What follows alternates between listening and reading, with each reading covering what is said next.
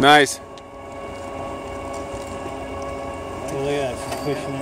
And she's getting that handful. If she's got to start those a little earlier, then she's be, should be getting a, getting off, getting off the edge. That she nailed that turn pretty well though. That one's killing everyone. There you go. There you go. She'll be able to see that in the video. There you go. See, she's getting it run by run. It's really good.